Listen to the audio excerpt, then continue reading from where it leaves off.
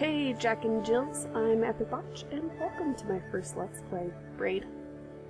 For those of you who don't know, Braid is a platforming game with a time component added onto it. And the purpose of the game is to enter each world, obtain all the puzzle pieces, and put them together at the end so you can reach the final destination. Alright, we're going to start with World 2. Time and Forgiveness.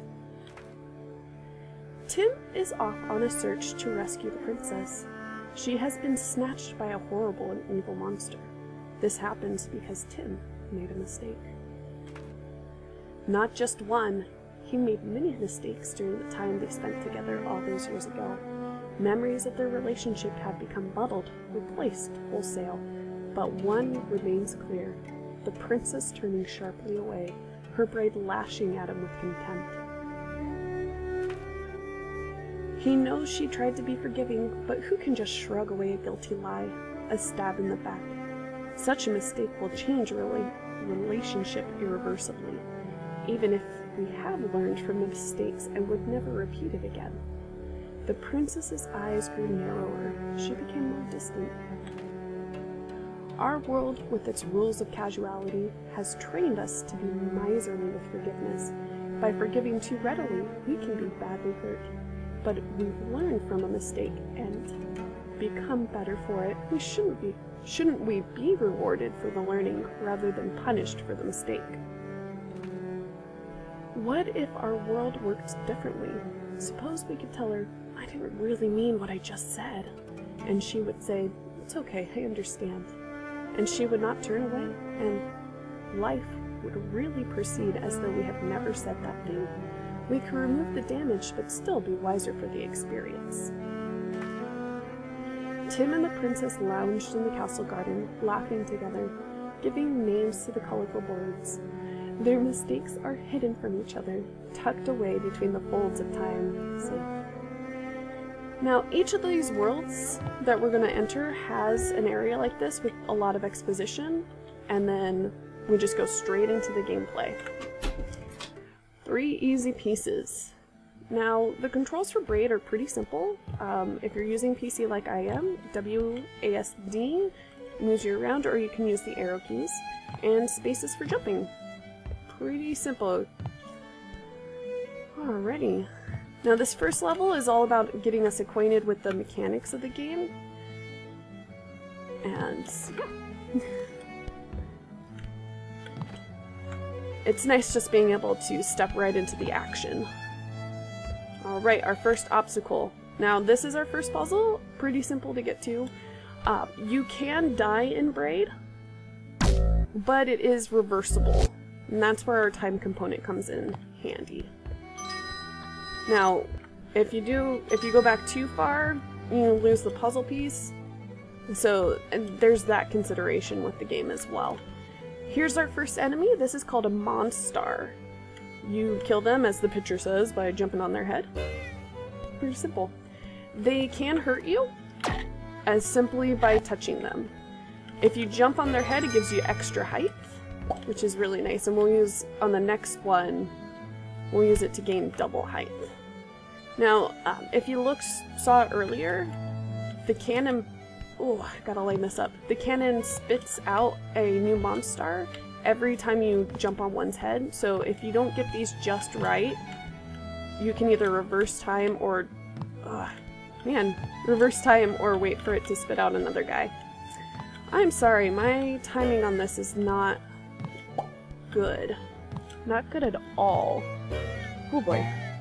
Oh, barely. We're gonna try that one more time. Come on, you could do this. Get it lined up just right.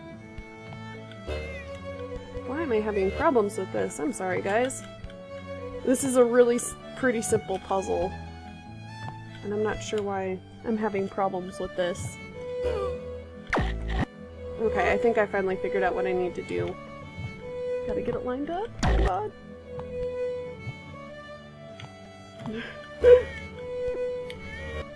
You could say that I'm having quite the epic botch. Sorry for the bad pun, guys. Can't help it. There we go. I really do apologize. That shouldn't have taken me so long to do. it's the first world. I promise I played this game before. Alright, that's it. Now we're on to the Cloud Bridge. In this one, we have new mechanics. Um, key pretty much just unlocks doors. It's susceptible to time like a lot of the other things in this world. Um, clouds, pretty nifty. We can just ride them, and if they hit something, they disappear. Alright, that's pretty simple for the two puzzles that we can get this time. We'll have to come back for this puzzle and the one up on top later. Hunt.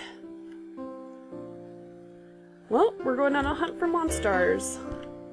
We're gonna leave this one alone, because we need him to get over that gap in the middle. Um, as we keep hitting the monsters, you can see that X's are happening. Oh, I went a little too far. Whew. On the door, um, and once we make them go away, once we jump on them, the door will open. Ta-da! Pretty simple. Next one. Leap of Faith. Now, this door partial world is more about getting timing correct. So we're going to use this platform to transport one of the uh, monsters over so we can get that puzzle piece. I'm to see if I can fix that. Yeah, there we go. Alright, so don't worry about timing, he will get there eventually, and he won't jump, just jump into the ledge. Ooh. There we go. First puzzle piece of this world.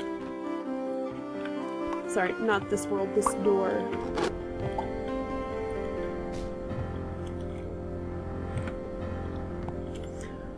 Again, this one's all about timing. There's one puzzle piece off to the right, Getting it just right to land on this monster right here. Oh, that was so close.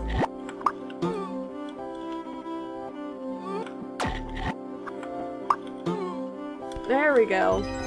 Alright, when you fall down this pit, we're gonna stay right and then go left. Whoops, uh, I went... There we go. And time for the last puzzle piece. We'll wait for the monster to fall down be pretty quick about getting up here. Um, you can't make it up the ladder in one go, you have to stop. So, and here is our first instance of the claw. It's pretty simple. They go in and out of the tube. If you touch them,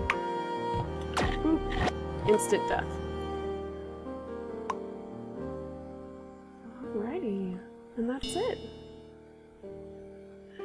I'm sorry, but the princess is in another castle. That's pretty understandable. Alright, that is the end of this world, but we're not finished. Remember those two puzzle pieces? We can get them now. So I like to go through door 3 and then go back through door 2 so you end up at the end of the puzzle instead of having to go through everything. Um, each world is going to have this puzzle that you can move around the pieces and put the pieces together. My suggestion don't put World 2 or World 3's puzzle pieces together just yet. Um, because it's going to be important for something that you can only... It'll be important for getting the 8 stars in the game, which give you a different ending, which is a lot of fun. Alright. Now we're going to shift this and move out of the way so we can use the monster to bounce and get this puzzle piece. Alrighty. So we used this platform to move the monster around. We're going to do the same to move Tim around, which is the name of our character. Our handsome... I want to say he's Irish looking to me. He might actually just be English or I think maybe even just American. I don't know. His looks scream Irish to me for some reason. Alright, and that's it for World 2. Um, this episode was pretty short, but as we continue on through the game, they're going to get a lot longer. Yeah, so if you liked this episode, please give me a thumbs up. If not, I really hope you stick around so I can maybe change your minds. Thanks for joining me on my first first episode of my first Let's Play. Have a wonderful day.